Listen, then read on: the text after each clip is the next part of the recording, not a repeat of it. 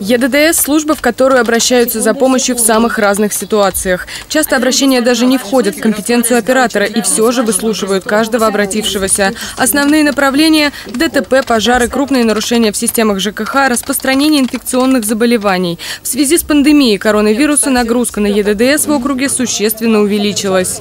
У нас с начала года по системе 112 поступило больше 148 тысяч вызовов. В среднем нагрузка была до первой декады марта порядка 1500, выходные 1700 вызовов. С 9-10 марта пошел всплеск по вызовам на 200-300 в сутки. Самый большой всплеск у нас был 29-30 марта.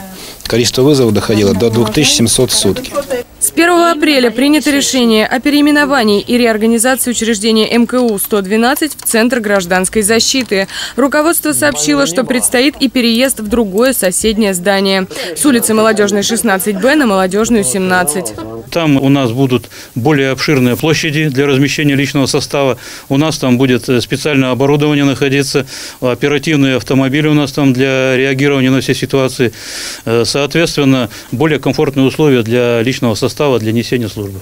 Первостепенные задачи службы – уменьшение времени реагирования и оперативность, обеспечение безопасности людей, проведение профилактических мероприятий и разъяснительной работы. В дальнейшем спектр задач будет расширен. Телефон для связи по-прежнему 112. Елена Морозова, Станислав Трифонов, телекомпания «Одинцова».